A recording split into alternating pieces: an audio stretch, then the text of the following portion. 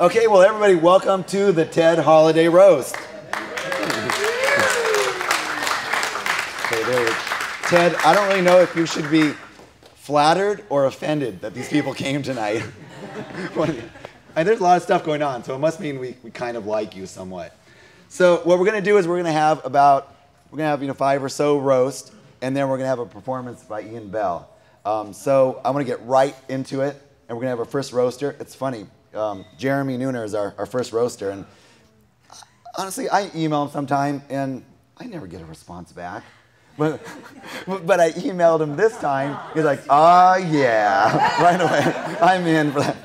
So now I know how to get him. No. Anyway, so without further ado, let's start the roast. You look good up there. Let's have Jeremy Nooner as our first roaster.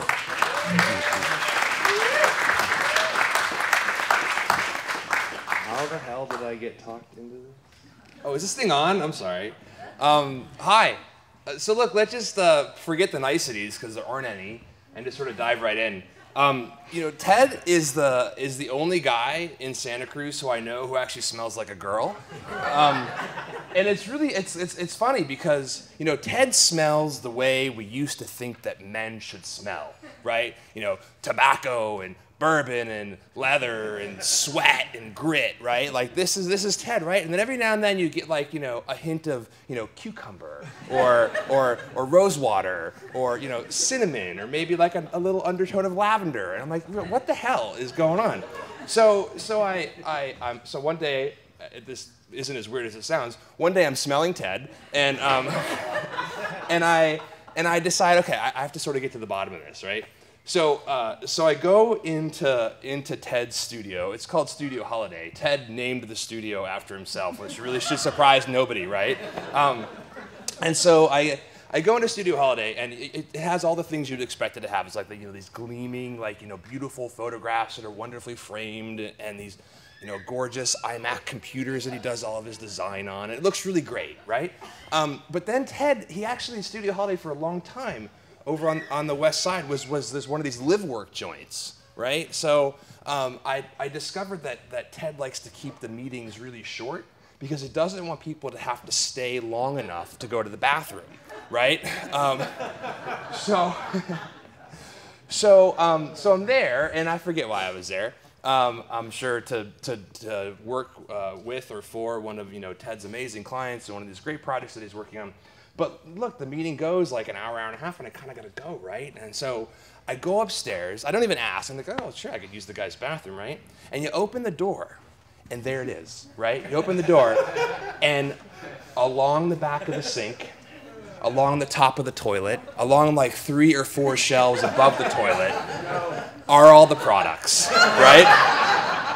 And I have never seen this many, you know, gels pomades, mousses, tinctures, ointments, right? And, and none of them are from the United States. These are all like imported from like you know Europe and Asia and all places where people apparently smell better. Um, and and and so this is this is it. I, I discovered like hey this this is finally what does it. I'm like but come on like you can't you can't use all of these all at once right? And then I discovered something about Ted. This is something you guys many many of you don't know about Ted that um, he's only he only comes up to like Darren's shoulder in real life, like Darren's shoulder in the chair, right? And the rest of it is the hair, right? I mean, and you you think that he's got this thing going on. It's like he's tall guy, he's like you know six two, whatever. No, no, Ted's like four foot eight, and the rest of it is is is the hair. Um, I should stop here, and I should probably mention um, that us roasters have a little discussion beforehand. Um, and have you guys ever played that, that drinking game where, you know, whenever one of the characters in the movie talks, that you drink? So anytime one of us mentions the hair, you guys have to do something crazy, like you have to do, have to do push-ups or something like that. So is that cool? Can we do that? Can we agree to do that? Because let's just say you all are going to be pretty buff by the end of the night, because I think we'll mention the hair more, more than a couple of times. Um, so, so um, Ted, the, the, the hair, like, I mean, you know, most people have this sort of like Napoleon complex, right? Like I'm only five foot six, I have a little pompadour going on. I mean, you're already like six four, right? So is there something else you're trying to compensate for, or what's what's going on with with with the hair thing? Because I know I know your children are here. What do you want me to do? Um, and And baby, girlfriend. uh, yeah, a couple of them actually. Um, so, um, um, sorry. Sometimes when you do these things, there's collateral damage. What can I say? Um, so, uh, and Ted's children are here. um, so, uh, uh, yeah, no, it's good. So, but here's the thing. Like, all right, so now Ted no longer lives at this sort of work live place. He lives, get this, he lives in an Airstream trailer in the woods. Okay? Um, so, how many people, if you, all that, of all the people that you know, right, all the crazy survivalist, hippie, off the grid people in Santa Cruz, right? Those are the ones, right? You look at it's like, oh yeah, Ted totally, he's that guy. He's gonna totally move to a trailer in the woods, right? I mean, come on. Yet somehow this is what he's decided to do. Um, two trailers actually, one for him and then one for the products. But um, um, but think about this, like you know, if if you know most people go to, go to the woods because they're trying to like you know like escape or they're you know they want to be a little bit more rugged and survivalist and they they want to know that they can kind of you know survive on their own, right? Did you just flick me off? Is that what? is that- that's- oh oh oh! I thought I'm sorry. I thought there was a. It's like that's. So, so you know, uh, here, here's what I'm envisioning. Like, so the zombie apocalypse comes, right?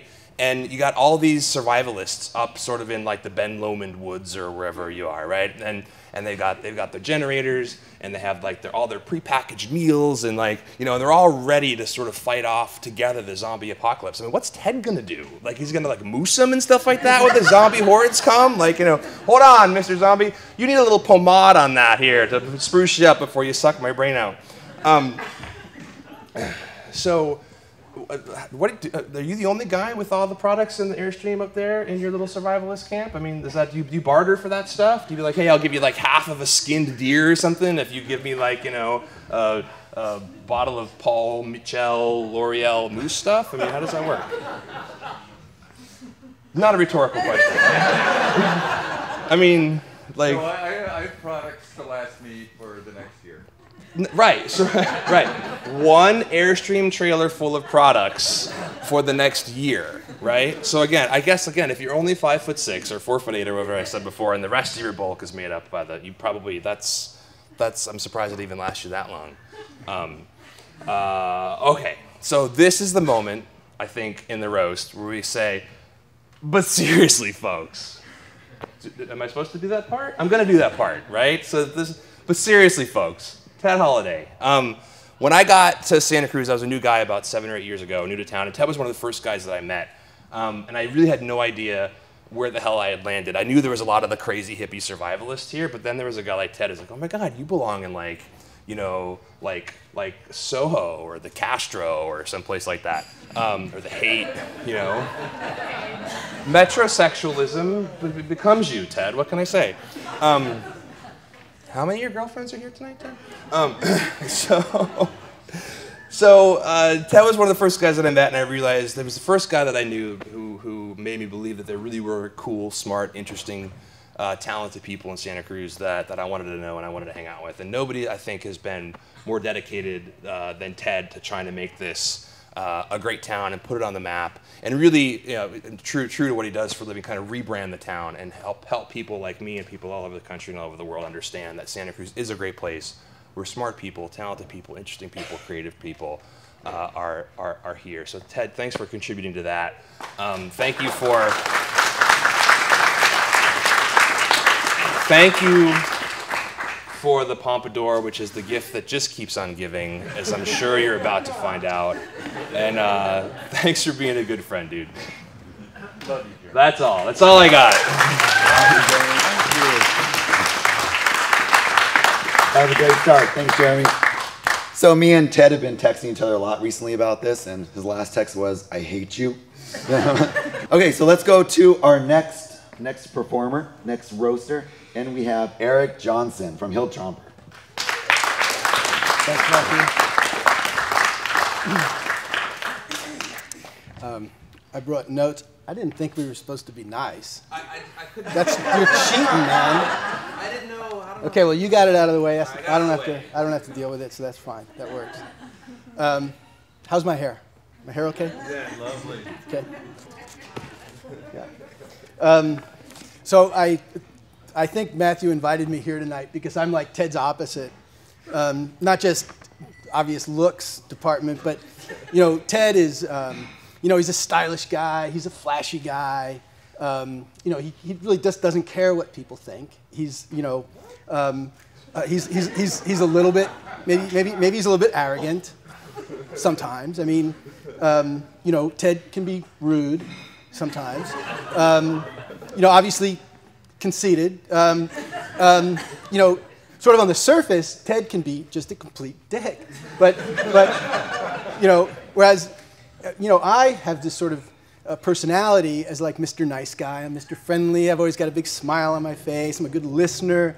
Um, and if any of you think that about me, it's because we've socialized, and if we've been socializing, I've been drinking. And when I'm drinking, I'm kind of awesome.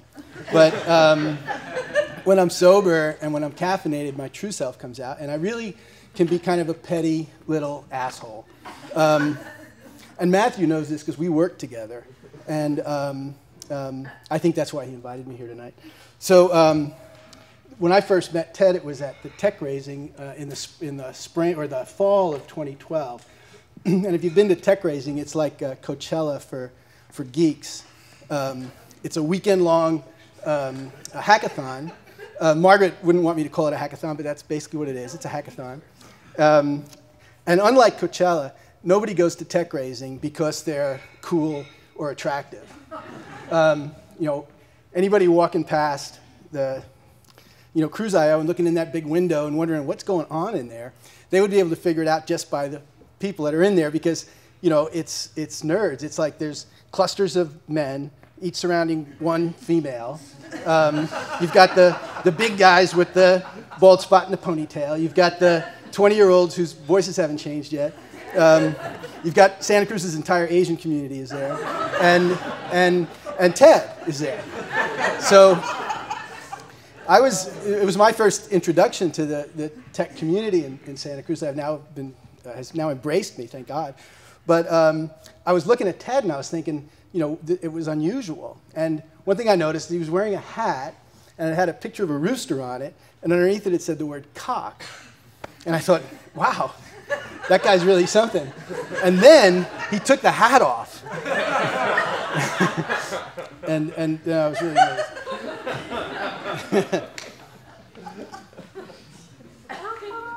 oh, so I'm like, who is this guy?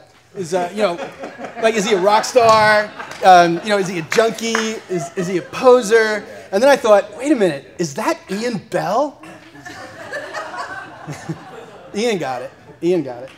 Um, oh, so Ted's there and he's got his camera, and he's not being shy. He is. You know, everybody's kind of sitting around, and Ted's, you know, he's click click, you know, and he's click click, except for it's silent because he's rocking a Leica. And that's so cool that you don't even know what I'm talking about. That's how cool that camera is. And uh, so then we all pitched, and Ted made this pitch, and he talked about doing this thing he was calling Impact 831. And that was going to be, he was going to document all the cool upcoming or upstart businesses in Santa Cruz. So, like Verve, uh, Stripe, uh, Verve, uh, Cameron Marks, um, Fuse Architects, Verve, um, El Salchichero, and Verve. And it was just the places that Ted thinks are cool. And actually, I was really interested, and I'm a journalist, and I thought, and uh, tech raising is all about collaborating, and I thought, you know, I may work with that guy. And then, poof, he was gone. Saturday, no Ted. Sunday, no Ted. Never saw him again for six months until Matthew called and suggested that we, at the next tech raising, create a magazine in uh, 48 hours. So we would show up on Friday, do a bunch of reporting, take a bunch of pictures, write the thing, edit it. Uh, Ted and his team would put it together and have it for sale Sunday. And I thought, that's fucking crazy. So yeah, let's do it. And then he said, I think I can get Ted Holladay. And I thought, why? You know, the guy's a no show.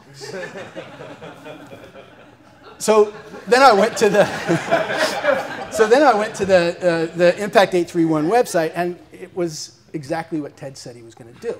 It was these incredible photographs of all these cool businesses, and I thought, yeah, let's definitely do this. So, um, long story short, um, I got to spend a lot of time with Ted over the next several months, and we um, published, uh, with Matthew's help and a bunch of other people who are here, Julia is here, we published uh, two uh, issues of Instant Magazine. And um, what else? Oh, we did a crowdsourced photo essay at the MAH. We hung out with Zay Frank at the MAH. We had, it was a bunch of really cool stuff. Um, I got to point out that on the two covers of Instant Magazine, both of which Ted created amazing photographs for, we predicted the two biggest tech successes in the past year in Santa Cruz because we had Lloyd Tabb uh, from Looker on the first issue and we had Saul Lippman from Tomfoolery on the second.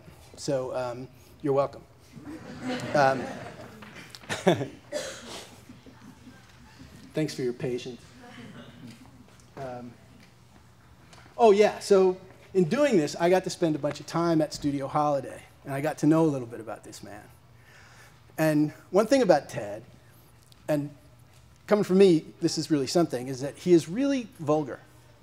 Um, Ted's, Ted's sense of humor is really, it's just dirty. I mean, um, you know, uh, the way he related to Conrad and Eric, to his guys, it was, I mean, he would describe in detail. Kids, the, he would describe in detail kind of the sex acts he had planned for them. I mean, it was funny, but it was, it was kind of outrageous.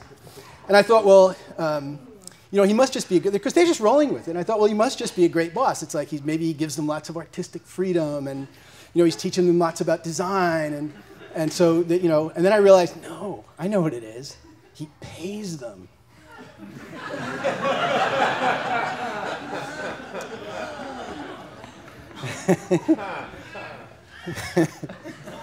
You're like, I thought you liked it. So, um, so um, some of you will remember when Ted had a, a company in an office and he lived in a house. And then he moved into the studio and he lived in a loft. Um, and now he lives in a Winnebago. Um, or an air airstream, an air airstream. I'm sure that's a very important distinction. He lives in an airstream. um, uh, who saw the Super Bowl pictures that he posted on Facebook? Anybody see them? It was you know, so Ted's posting these photographs through the window of the Winnebago under the, or of the Airstream. Uh, you know, of the, the, he's got a big screen TV there, and it's the Super Bowl, and everybody was like, that is so awesome. That's so cool. A million, uh, you know, comments on Facebook, and I was like, he lives in a trailer down by the river. And I guess when you look like that, anything you do is cool.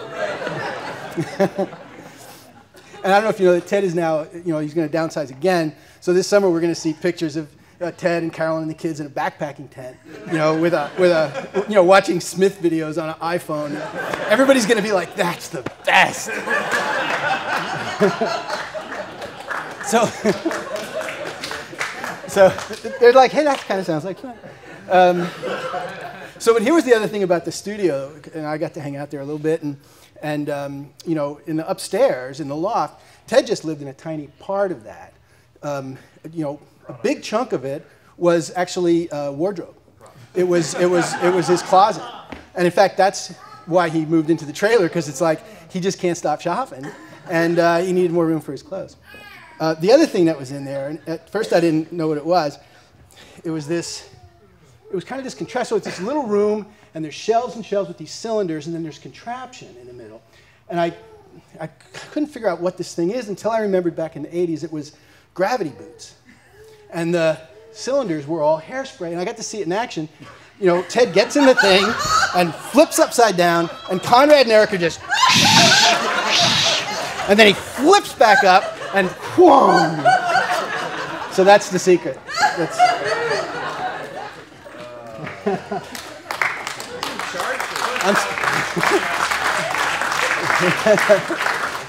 so this, this, is, this is the last thing.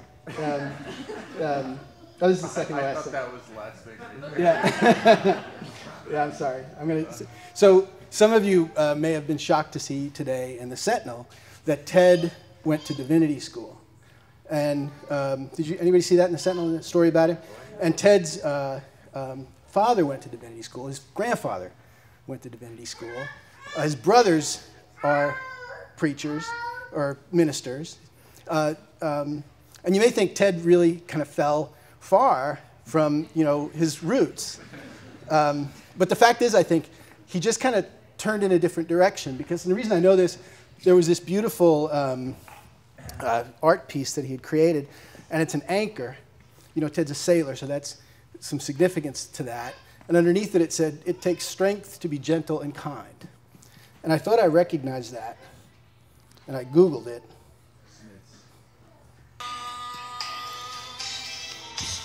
Can you hear that? No? Gentle and kind. It's over. It's over. Yeah, so, um, and I saw in the, uh, he ha- uh, I, got I got two little show and tell things here. One is a, um, this is a bumper sticker that Ted had on the Land Rover. I don't know if you can see it, um, or if you can recognize, if you can't recognize, he also has a, a painting hanging on the wall in the studio. Can you guys see that? So it's just, you know, Ted's still a believer. He just, he just, he's just found a new savior. So, um, seeing the bumper sticker reminded me, I made, I'm going to make some bumper stickers up for y'all. Um, and I'm going to have these for sale after the event. So, thank you. Thank you. Great job, man. Okay, first of all, just before we get any further, I'm sorry about my voice. I'm losing my voice. How about this chair? That's pretty awesome. From Echo Antiques. Where, who are, where's um, Karen and Mike? Where, where they go? Stand up, guys. Okay. Yeah, stand up. Every, they, they have an awesome antique shop, Echo Antiques on Soquel. So them. Um, also, I want to thank some of our helpers. We have um, Katie. Where, where's Katie? Okay, Katie right there. Thank you so much for helping with the chairs and helping out with everything. And then we have Fasu to help checked out. Thank you very much. And I know I forgot a couple other ones, but thank you very much. So I was disappointed. I must admit. I wanted, I wanted some like family members. You know, I was thinking about their kids, and then I was thinking like, okay, how about like maybe his ex-wife? You go, yeah, she might have some dirt, right? She said no. Like she had too much, and then I said, okay, how about his, you know, his girlfriend? How about his wife and ex-wife and his current girlfriend together? What about that? Would that be good? No, they both said no. So I was like, okay, so you know, I asked his, you know, most of his family, they say no.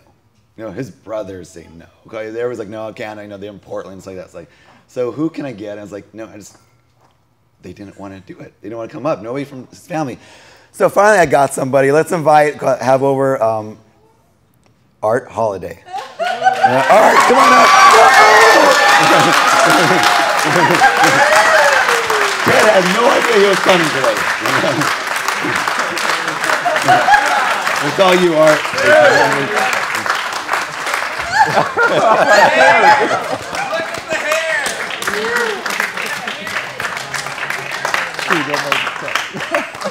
You're gonna make me cry. Thanks, Matt. And thanks for the invite. I, I, mean, I thought it was important to come up um, or come down from Seattle. We jumped in the car last night and I drove all the way here to be here. Not for Ted.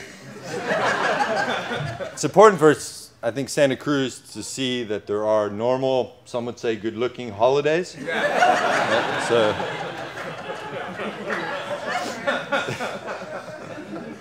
And speaking of good looking, I mean, Ted's kids are here tonight, Ruby and Jude.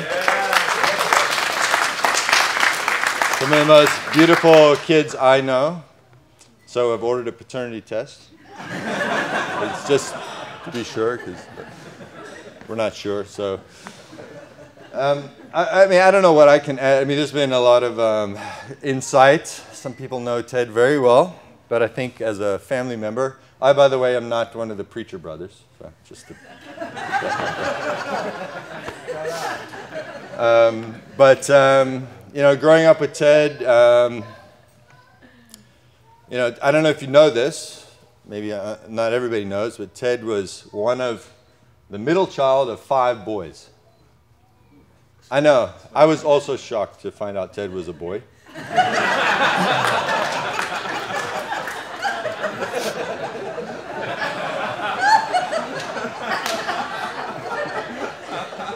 But growing up as a, as a middle child, he was always trying to keep up with his older brothers. And it was quite funny because uh, he was always like two minutes behind every conversation. And um, this is the God honest truth. we, yeah. So, I mean, conversations would go something like this. So, my, my other brother, uh, Dave, and I, uh, who's also older than him, would be sitting in the car. The whole family would be driving somewhere. And in our budding adolescent minds, puns were the sort of intellectual stimulation that we tried to attach ourselves to. So we would be driving around in the car and we'd see a cow. And my brother Dave would say, Oh, look at that. That's utterly ridiculous. Stupid pun. But, and then I would come back with some other pun like, um, yeah, you're trying to milk it for all it's worth. And, you know, we go back and forth like this. And, we, and then we would move on to another subject because eventually we'd exhaust those puns. Ted's here, like, you can see the wheels are spinning, right? mind's going. And we move on and we see a car or something. And um, my brother would say, oh, um, you know, I get, that guy looks really tired. And I'm like, uh huh, funny, funny. Um, we'll see about that one. You know, we go on like this. And then Ted would chirp in, ah, moving. I'm like, Ted. We've moved past the cows like 10 minutes ago. We're on to another topic now. So. I was like 10. I did hear somebody say though things haven't changed much, so I tend to tend to agree with that. So, but um, yeah, so we went through that, and then um, so we grew up together, and uh, life went on, and years went by, and we all went, you know, went to university, and he went to university, and eventually uh, we kind of grew a little bit separate, and there was sort of this period of time where we didn't have a lot of communication. And next thing I know, Ted has reemerged from all of this experience, covered in tattoos, and he's now got a um, defibrillator next to his heart, which he still has. Is that an iPhone? No, no, no Apple branding on it. Um, so he has this because at one point his heart stopped, and the doctors put this in so that it would, if it ever happened again, this defibrillator, if the beats went below a certain level, then it would kick in and it would gives him a massive jolt and brings him back to life. And so we're all very happy about that. Uh, we don't know how this happened or what happened to hard. I mean, the rumor is that there were no drugs involved. So it's just a rumor, though. But um, you can imagine having this defibrillator, and I mean, Ted has shared in times past, he's had a couple of uh, interesting uh, incidents as a result of that because over time, this thing became a little bit miscal- miscalibrated, and eventually it got to the point where it was like any, you know, like jog down the stairs, then starts to get a shock or something, and uh, you know, the one day swimming in the ocean, and I think he's like surfing and frolicking, and somebody yells, Shark! And next thing you know, poof, gets this kick, and he's under the water, and he's thinking he's going to drown. And so, you know, you can imagine the kind of scenarios that might get your heart rate up, that where this kind of thing might happen, you know, like doing the funky Cold Medina and that kind. So yeah, so that also happened. So thankfully, he went back to the doctor, recalibrated. Everything's fine now. So we're happy about that. So very happy. So I think everybody who knows Ted, and you could probably tell just by looking at him, um, huge Morrissey fan, right? Somebody mentioned Smiths earlier. Morrissey is um, probably you know one of one of those people in his life. I mean, I, I'm convinced if Morrissey hadn't publicly declared that he's celibate, Ted would have proposed already. That's how much he loves Morrissey. But Mo- Ted's had a little bit of a bad luck streak with Morrissey because um, he has bought tickets to every show that comes within the United States, basically, to go see Morrissey. He came to visit me when I was living in Atlanta just to go see Morrissey. And more often than not, Morrissey has canceled the show because he's sick.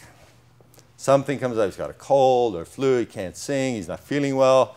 And Ted has just been devastated, but he keeps coming back. keeps coming back, keeps buying the tickets. He's the first one in all of Santa Cruz to buy tickets for his upcoming show. And if you know, he's coming to Santa Cruz. Ted's got tickets already. San Jose, sorry. He's got tickets already. So well done there. Good luck this time. So yeah, I, I mean, just driving up here, I mean, I had long drive, so I could listen to a lot of radio and stuff. I, I just heard, I don't know, I heard he's, he's, um, he's not, I don't know, I heard some, I heard he's not doing too well. I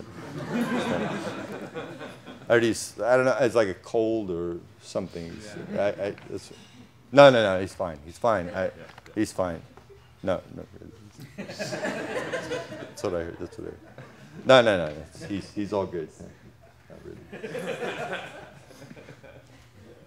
Uh, yeah, I, no, no, he's fine. He's fine. He's, he's, he's, he's in the sun in New Jersey somewhere, you know.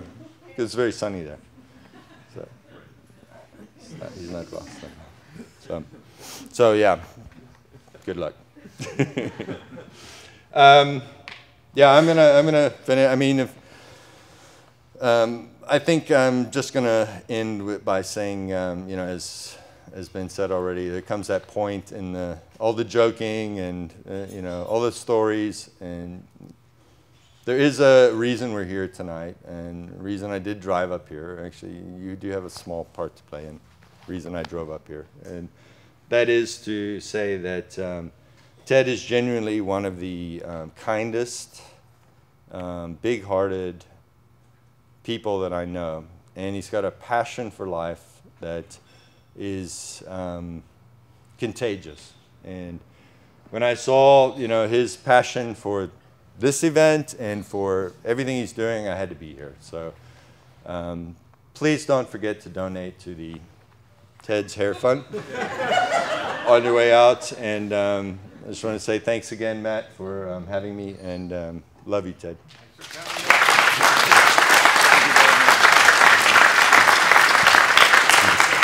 Thank you very much. All right. So I talked to all the roasters, and I was saying, you know what? We're not real comedians. You know, it's gonna be kind of tough. You know, it's like I don't want to be talking for ten minutes. It might kind of drag on. And everyone's like, oh no, we want to talk for more than five minutes. It's, it's kind of tough. But but somebody even said, you know what? Ted is so roastable. That was Iris. and I don't think any of us have actually so far gone under, I uh, gone over, oh sorry, under five minutes yet. I think there's a lot we have. So we got to keep it at five minutes just in case, because then we're to run out of time, and um, whoever the last person is, Margaret won't be able to roast him, or we won't be able to hear Ian. Uh.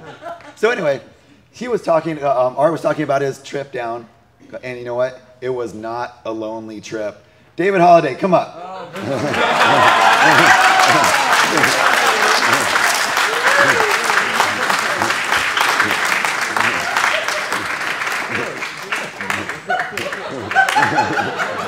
give me that mic.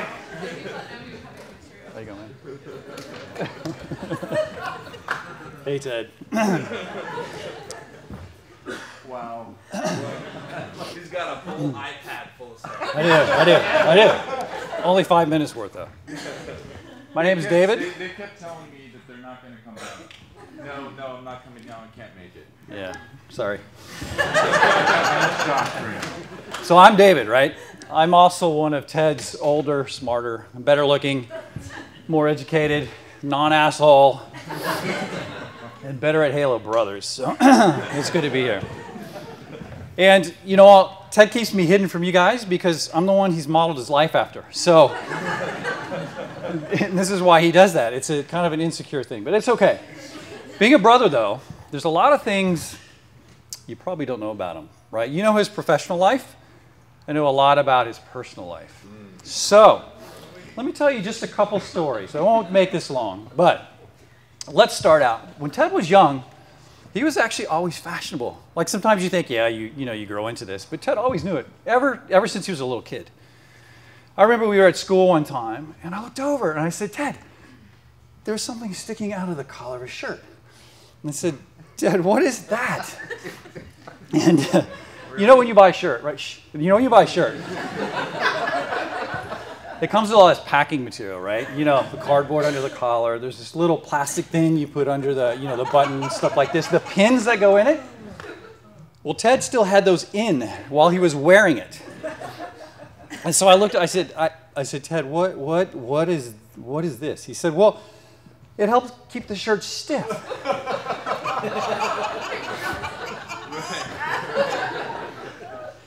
I mean, that makes sense. So, I only bring that up because if you see something hanging out of Ted's shirt, and now that he's older, out of his pants, it's because it helps keep things stiff.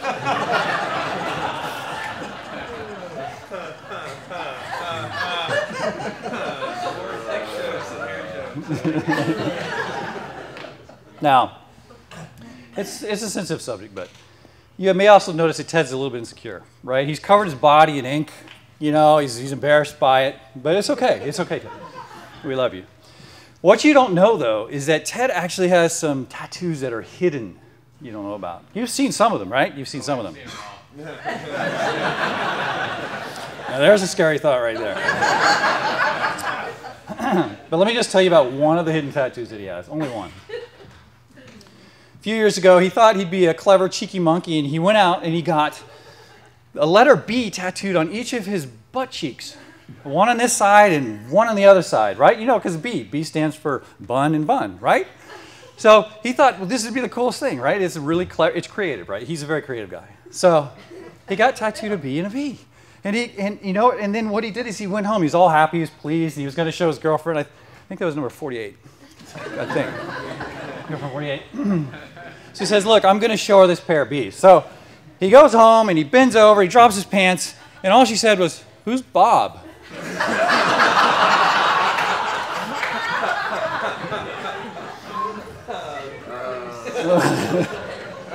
Sorry, we wonder about Ted from that day on, too. We, we really did. I don't have bees on my Prove it! Please don't prove it. Please don't prove it. now, somebody mentioned before, too, that Ted is now living in an Airstream trailer out in the woods. But what people don't know about this whole move is it's not just a move about the Airstream. Ted is actually going to change careers. He probably hasn't told you this, has he? He's looking to become a motivational speaker. That's good. That's good. I, I, think that's really good. You'll do well at that, okay? Just like the B tattoos, you did well at that. But then all of a sudden I realized or I had seen this before. Ted is actually now Chris Farley living in a van down by the river. and you know, when Ted's belly gets a lot bigger and he decides to move in with you, that whole transformation will be complete. now, let me show you one other story because this is very important. Because when you're creative, it's, you kind of seem like, wow, you know how to do everything, right? Well, let me tell you, Ted's culinary skills, cooking, are not that hot. When we were young kids, we would go on these car trips as a family, right? And it was somebody's job to help pack a lunch. And so my mom would bake this awesome homemade bread, big loaves of bread. And somebody's job in the family each time was to create or make sandwiches. So when Ted got up to make the sandwiches, what he would do is he could not slice that bread correctly. So he'd start slicing it, one end would be about this thin, paper thin. You could see light through it. The other end of the bread would be two inches thick. Okay? So he would take this bread, and you add mayonnaise, and you add pickles, and you leave this in a hot car all day. and Ted became officially known as the worst sandwich maker in the history of mankind, ever. Because if you take two pieces of bread with two inches of crust on each end, that comes out to four inches of jaw mashing horribleness. So, Ted's culinary skills are a little bit too lacking. Now, one last thing I like to mention about Ted in conclusion is you probably realize that Ted's pretty much the biggest promoter of himself by far. we all know that how starved he is for attention. We all get this, right? It's not new news to any of us, is it? Right? But he does it very subtly. I, I, it's done very well. I like it, right? He's like, oh, oh, you're interviewing me on the radio. I am so privileged to be here. it's, it's an honor to be talking on the radio. And then he'll throw in some heartwarming story, like, you know, my dog is blind and he can't bark, but he loves your radio show and it's helped him to bark again. You're like, okay. and then under his breath, he goes, okay, now ask me a damn question about my amazing work. You know, even, even this roast, right? Even this roast. I mean, who needs so much attention that they promote their own roast? Seriously, right?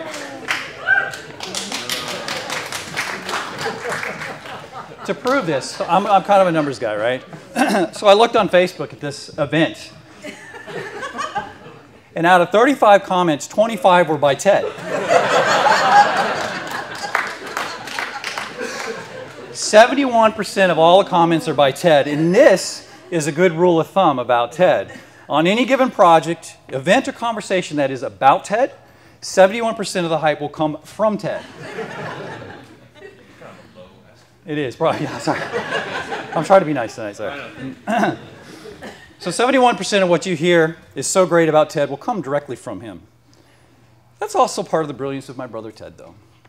So what we've learned, what I've learned, is our brother Ted is fashionably stiff, non-cooking, hidden tattoo, motivational speaker, living in a van down by the river, and 70% of what I just said came directly from Ted.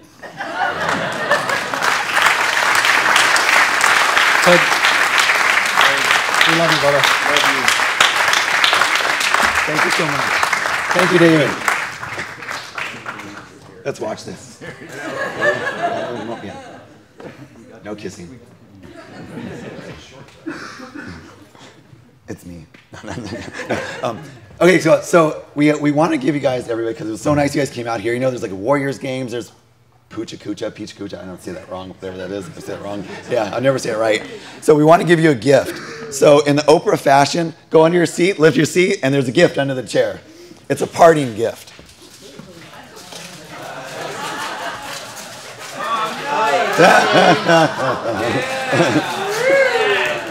Look what ten dollars in Amazon buys you.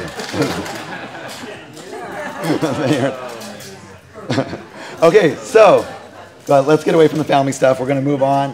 Who do we have? Let's see. We have now. Oh, I'm sorry. It's Darren. Darren Kaz. Let's invite Darren Kaz up.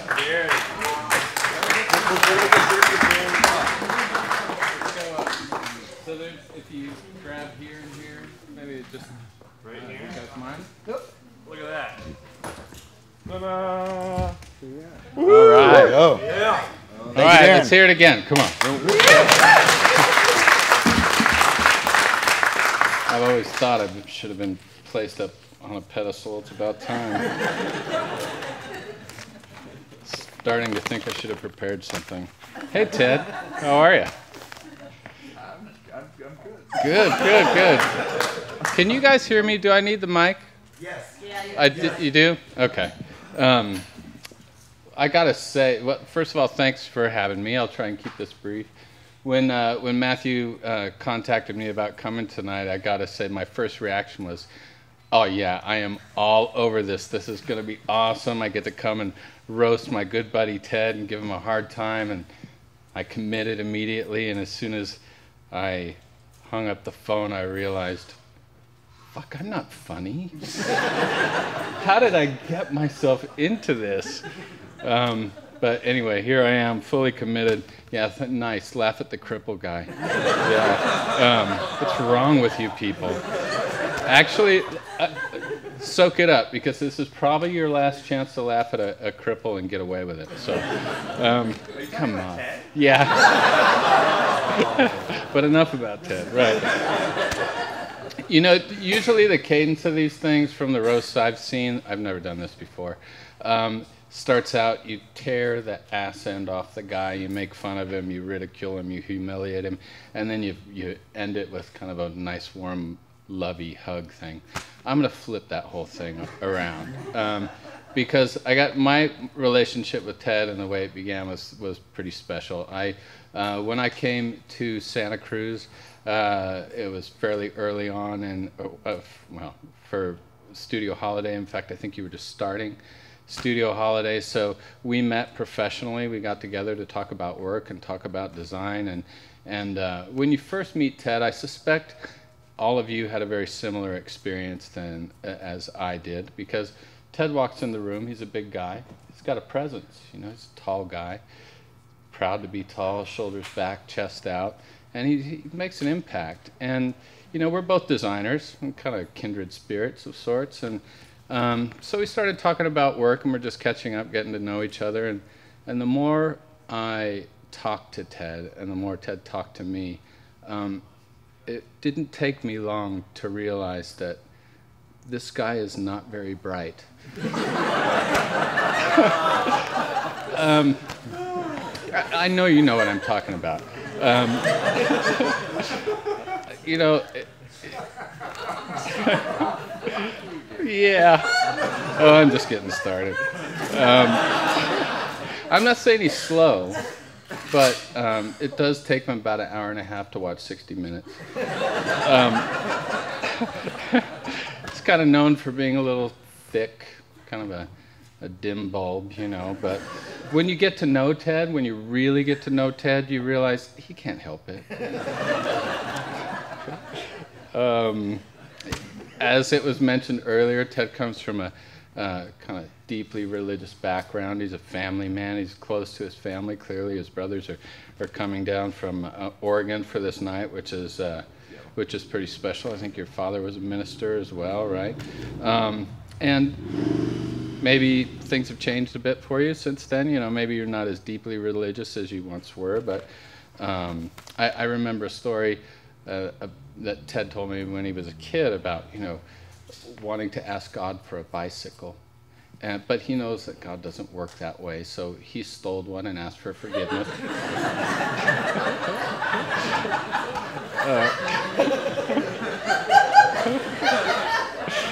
Oh yeah, but but I know even though your life has changed a little bit, and maybe you aren't as as committed maybe as you once were, maybe you are, I don't know, but I know that you know that Jesus loves you. It's just the rest of us that think you're an asshole. oh yeah, he's very close to his family. I, I think someone may have mentioned his grandfather. I remember him telling me one time a story about his grandfather, and that when the time comes, Ted wants to die peacefully in his sleep like his grandfather and, and not screaming and yelling like all the passengers in his car. You'll get that later. You'll, be driving home. That was that was the best joke of the night. So, um, tattoos. We all know Ted's got a lot of tattoos, and which says you know a lot about the guy. Mainly that he is not afraid to make commitments he will soon regret. Um, like taking that job over the hill, right? I'm not saying the guy's got a problem with commitment, but but uh, he's he may be a little indecisive. I think Ted believes he's a little indecisive, but like the many shattered relationships of his past, he hasn't quite made that commitment yet. Um, you'll get that one later too. Uh, um, but uh, I, I, as it relates to relationships, I don't think commitment is Ted's problem. Um, it, uh, um, I I think Ted really knows how to treat a woman, uh, providing him, of course, you want them to think you're an asshole. Um, that was funnier in my head. It was funny enough. Yeah. Okay. But Ted and I have a lot in common. We're both designers. I, like I said, I, you know, I think we connect on a on a different level. I mean, he really is a, a intensely talented, gifted guy, brilliant graphic designer, amazing photographer. Um, it's tough. Photography is a tough gig these days. I mean, you realize we all have iPhones now, right? Even a hack like me can take a picture with iPhone and make it reasonably good with Instagram, right? So if you're looking for a tip on how to make money in photography, sell your fucking camera, Ted.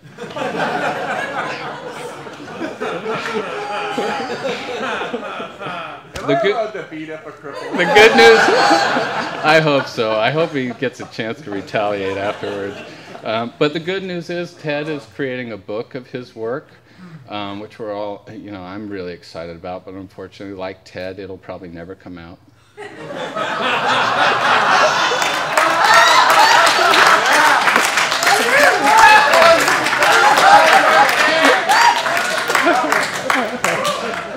Uh, no, it's okay. Ted's Ted's in touch with his feminine side, and I, I, I appreciate that. I respect that.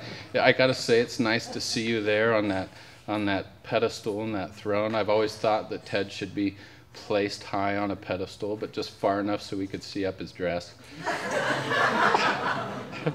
uh, yeah, he is in touch with his feminine side. In fact, uh, there on more than one occasion he's tried to get in touch with my feminine side. Um, I let him. Tiger. Oh man. Yeah, we do have a lot in common, Ted and I. You know, we both we both are designers. Like I said, we got a passion for the arts, passion for tattoos, old cars. Love a stiff glass of whiskey. We're both having sex with your girlfriend. oh, wait a minute. Which one? I'm just realizing. Oh. we haven't talked but we'll catch up later on that. So um, I'm obviously kidding. Uh, I kid because I love Ted. You're a special guy. Um, I deeply, deeply respect you and, and love you as a friend and brother, and I know you're always going to be in my life. And um, I got You probably don't even realize to what degree I care about you as a friend. I, I mean, if if we were adrift at sea and both drowning and only had one life vest, I would miss you so much.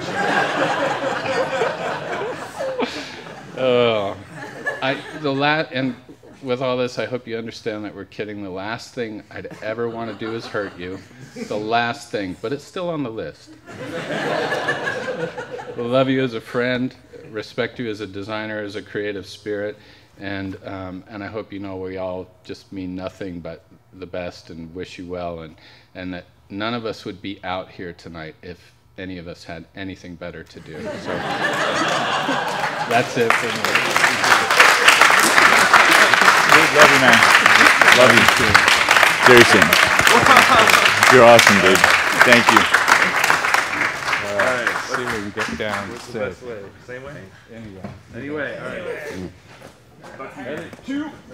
Okay, so we have two more, and we gotta get through these kind of fast. So each one of the next people has five minutes. Margaret, you're next. Margaret Rose is from Looker.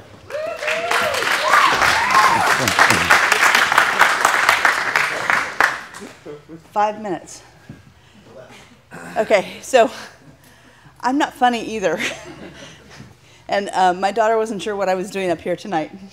Um, now they're going to find out. So, Ted, um, I, I knew about Ted before I met Ted. And the first thing I knew about Ted was uh, about the Betty Burgers sign. I remember seeing that years ago. And I was like, what misogynistic asshole created that and thought that that was a good representation for Santa Cruz. Um, and so, you know, a year or so later, I, I don't know, maybe six months, I'm not sure about the timing, um, all of this community stuff started happening, and we started having these dinners, and, and then I met him. And I was like, oh my God, he is an asshole. He's got so much attitude. And that hair, what's with that hair? And, and we started working on this community stuff together. And we were all wanting to be part of this place called Next Space. Um, and he was, he was on board too, and he wanted to be part of it. And um, it was like, okay, well, so maybe he's, you know, maybe he's nice. I mean, he's kind of arrogant, and but maybe he's maybe he's cool. So we we all you know, rally around Jeremy, and we make Jeremy do this thing with Next Space, and and then Jeremy's begging all of us to come in and and and please please come in. Ted won't come. Ted doesn't come to the space. He designed the logo for God's sakes. and like, no, it wasn't good enough for Ted. I realized no, it wasn't the carpeting. It wasn't, no, no, I, I'm really convinced. I am convinced. Well, they, they, there's new carpet now. There is new carpet, so maybe, maybe it'll meet your standards. But what I realized is there wasn't enough room for the hair. and all of the hair products. Like you would have had to have an extra office, and it was already kind of expensive, and that would have been really expensive, and that's a really bad joke. But what, what I didn't know, and I'm just going to get to the mushy part because I don't have very much time, because um, I'm, I'm the warm hug. I, Ted um, is part, has been on this journey of community with me in Santa Cruz um, all along the way. Um, we've been kind of, uh, not necessarily side by side, but kind of in step with each other, um, basically being committed to this little community we have called Santa Cruz. And, and Ted has been a leader and really kind of setting the standard for what design is. Um, we can look at places like Verve and Penny Ice Creamery, and I will tell you that that Betty Burger sign probably set the set started setting uh, a tone and a mood for Santa Cruz that is what Santa Cruz is growing into. Um, and Ted has been that leader for us. Um, yes.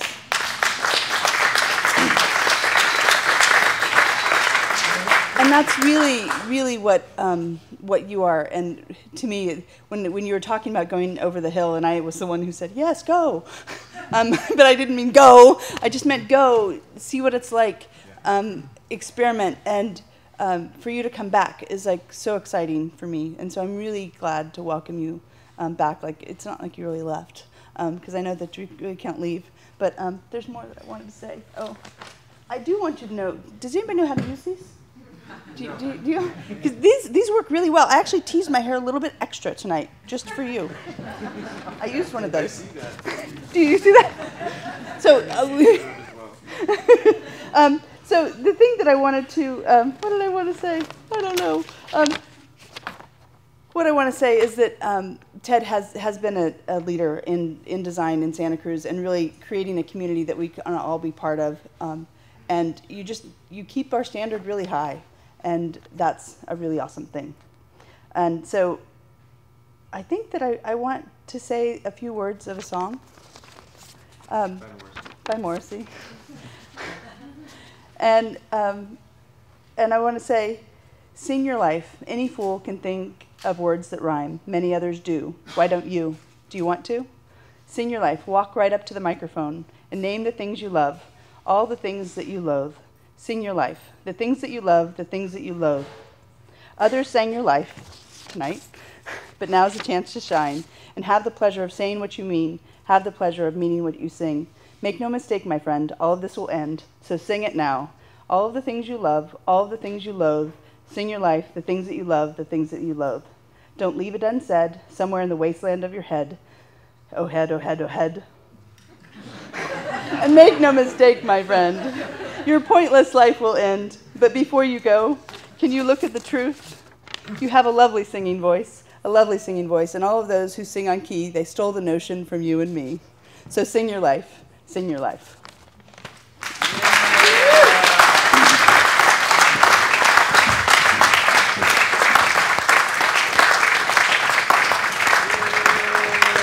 Thank you, Margaret. Four minutes and 44 seconds. That's good.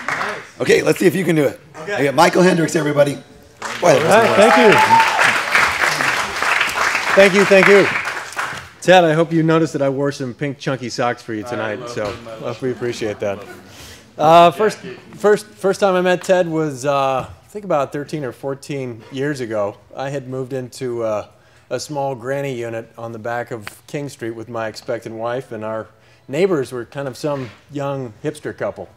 So I came out one morning, it's kind of mid morning, maybe around 10 a.m. or so, and I see my neighbor standing on his front porch, Ted Holladay, um, smoking a cigarette, laden head to toe in tattoos, wearing nothing but a black, shiny pair of vinyl pants with the, with the, uh, with the little hip chain holding his wallet in, and about a half a can of Aquanet keeping the pump at the, uh, at the regulation 14 inch height.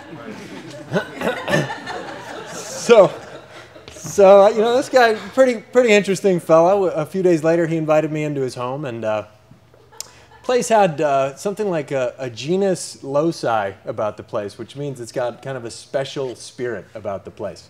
And when you walked into the front, spirits it did have. There was a full rack, a rolling bar with the right next to the Max in a display. It was like this nice rolling cart with the full bar with uh, I think many single malt scotches on there, which is uh, Talisker is Ted's version of orange juice in the morning. So yes, that's, that's how he gets his day rolling usually. Um, so we, we became friends. We keep, became good buds, and I invited him to uh, up to my brother's bachelor party. We've got a, a gold claim out in the boonies um, up in the Sierras, in a four-wheel drive to get into, and we did something. Took about 12 guys back there, and we did something that, which was called the Mountain Olympics. We put together together a whole bunch of different random uh, type of events, and there was teams and kind of a prize there. So, a couple of the events that I'd like to bring to note was one of them was was inner tube water polo. So we go down to the river and we get in these inner tubes. We got a bunch of inner tubes, and uh, you set up some goals. So Ted was the only one out of the guys that uh, decided to play nude. So he gets he gets into the inner tube nude, and I swear, I've seen this six foot five, you know, pasty butt in the in the middle of the woods from far away. We thought that we saw a shaved version of Sasquatch up there. So uh, after the inner tube water polo game, we, we decided to meander downriver in the inner tubes. And Ted, always being resourceful and prepared, had packed uh, a little Tupperware kit, which was his emergency first aid kit. And I thought, okay, this guy's ready for anything. There could be rattlesnakes down there, could be cuts, you know, could be need band-aids. So we go down the river, and the next event was something called the CTL, which was uh, Circumnavigate or Circumference the Log. It's a big box canyon. There's a giant sugar pine log that's lodged about 30 feet above uh, the river, the water surface. And the challenge was you go out there in your board shorts, you walk along the log, and then you have to hug the thing and make your way around the log without falling off like a, a cat about to hit the back of the water and try to make your way around, way around. Some people succeeded, others didn't. I have some great footage of Ted from across the river. Most of, most of the time, you, you walk right out there and you kind of set up. Ted, not only does he keep, he puts on his wetsuit before he gets out there, but then instead of walking out on the log, he kind of starts to crawl out on the log and his hands and feet very gingerly. And he gets about five feet out and then decides that he's shaking a little too much and turns around and makes his way back to the other side of the log. And, and then he, he goes straight for his emergency first aid kit. And I'm thinking, what the hell has he got in there that's got to be so, so useful? So he opens up the first aid kit and he's got, thank goodness, he's got his flask of Talisker, a lighter, and a pack of camels in there. Always prepared.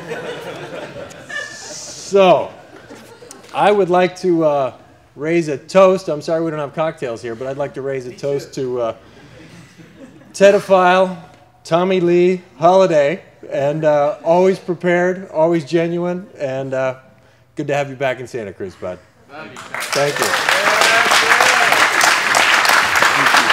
Thank you very much, Michael. Four minutes and five seconds. okay, so I want to thank you, Roasters. That was awesome. Now we're going to have three songs by Ian Bell. He's a um, talented songwriter. Boy, I wish I didn't have to talk. talented so- songwriter and singer. And um, Ted really enjoys his music, so I thought he'd be a perfect person to play. So um, I'd like to invite Ian Bell to, to perform three songs.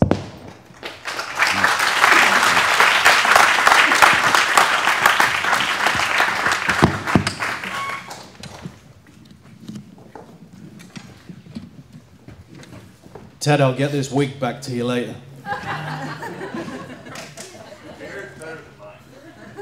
Oh, it's just greasy. Well, the first time I met Ted, I actually thought he was all right.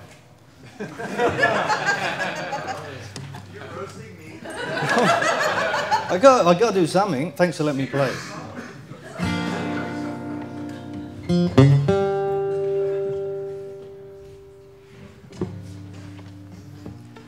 This is a song called The Tide's Coming In.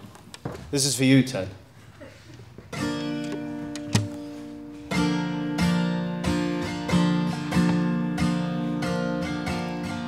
Will you shake my black hand?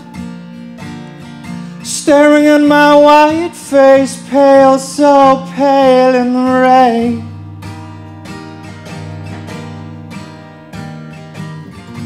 It'll be warm come July, warm and brown in mainland Spain in the summertime. Monday, new job in a suit. New shirts from Marks and Spencer's and iron and shiny, shiny, shiny safety boots still no clue.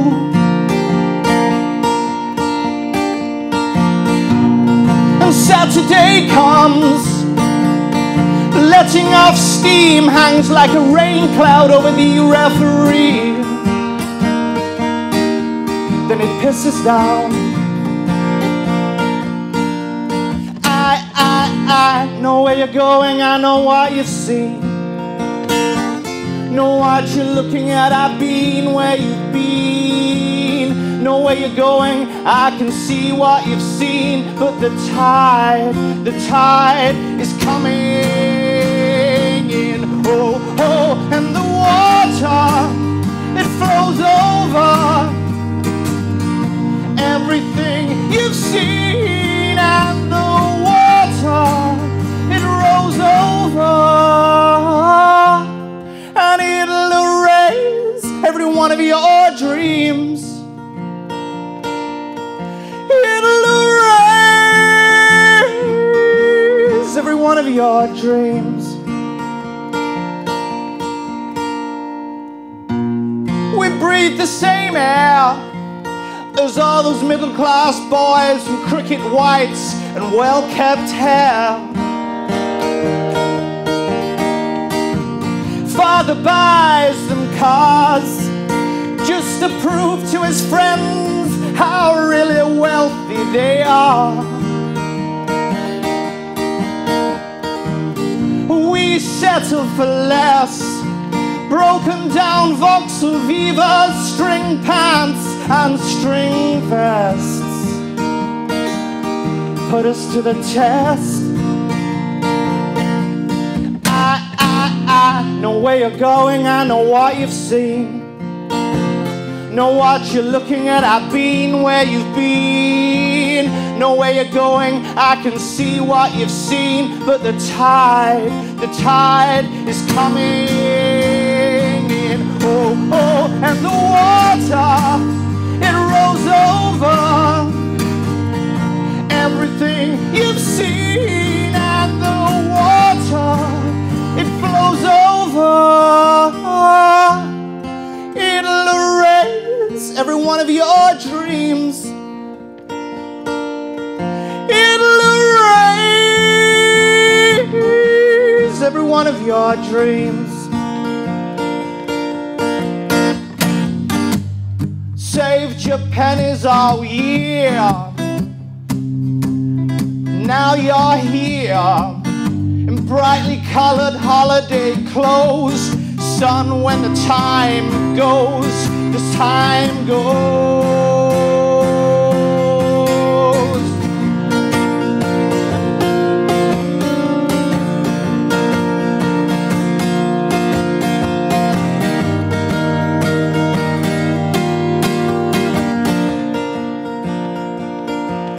I, I, I know where you're going, I know what you've seen. Know where you're looking at, I've been where you've been. Know what you're doing, I've been where you've been. But the tide, the tide is coming in. Will you shake my white hand? Staring at my black face, pale, so pale in the rain. It'll be warm come July, warm and brown in mainland Spain in the summertime. Thank you.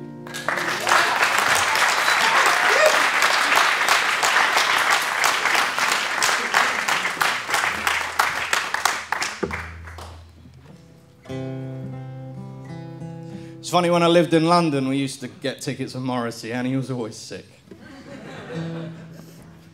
This is called Recipe to Disappear.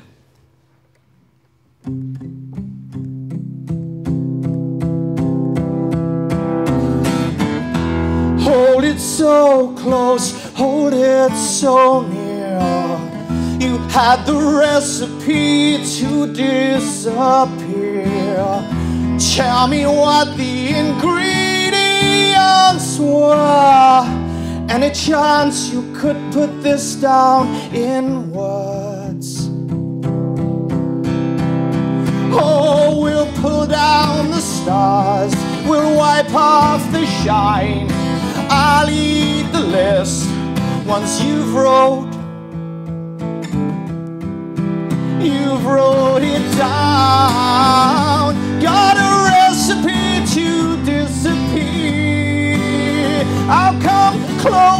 You let me hear? We got it made in the shade, don't you know? Let me in so I'm able to go. How long has this carried with you? Was it written down or just tattooed? Kept in a jar way, way up on the shelf. Only taken down when you moved house. I pull down the stars, wipe off the shine. I'll eat the list once you've wrote you've wrote it down. Got recipe to disappear. I'll come closer, will you let me hear? You got it made in the shade, don't you know? Let me in so I'm able. Let me in so I'm able. I'm able to go.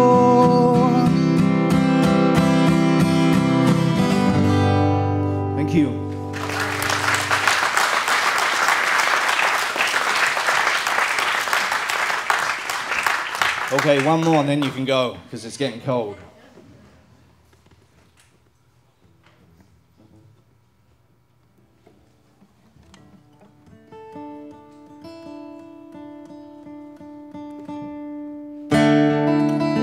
This is called String Me Up.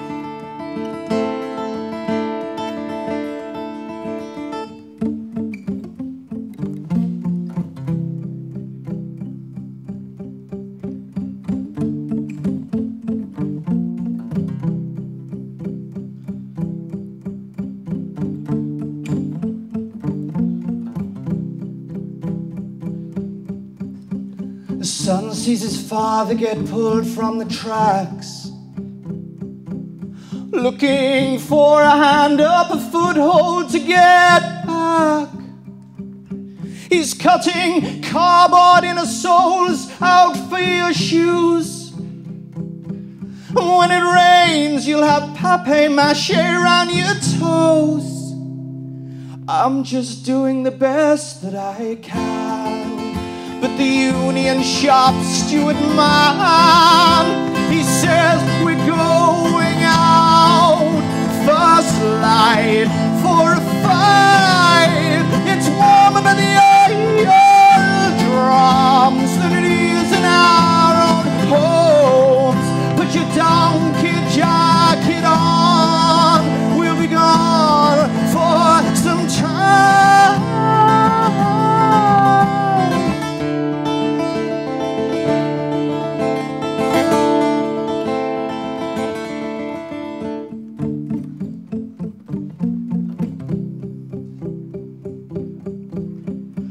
Son, don't hate the frozen food. When it's thawed and it's warm, it's good for you. And I'm sorry you've plastic football boots. And yes, when the studs have worn down, they've worn down for good. I'm just doing the best that I can and the union shop steward man.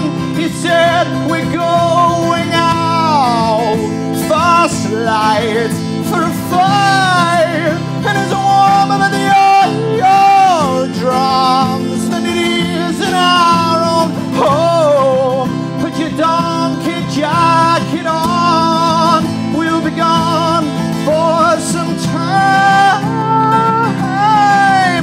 if I go back, they'll string me up.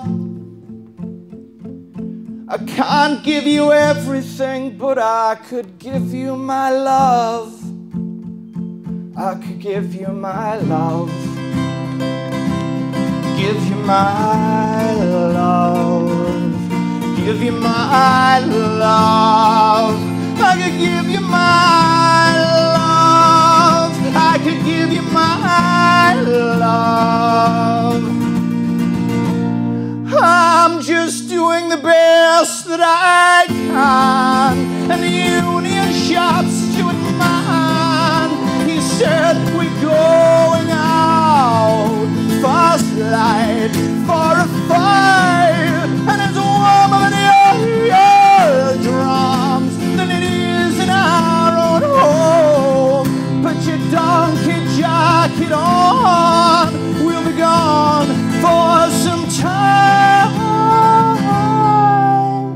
If I go back, they'll string me up. I can't give you everything, but I can give you my love. Thank you. Thanks, Ted Holladay.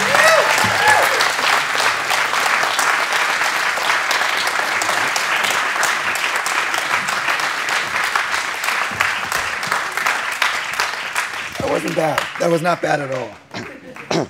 okay, except for my voice. Okay, so a couple announcements real quick. Uh, real quick. If you have um, any pictures that you took, Matthew at eventsantacruz.com, and I'll put them on our website and stuff. Wow, going away. okay, I only have one more. Buy CDs. Ian's CDs are in the corner there. So if you want to hear his music, he has three, uh, two EPs and a live album. So in the corner right there, his CDs. Um, thank you to the roasters. Thank you to Ted for being Ted.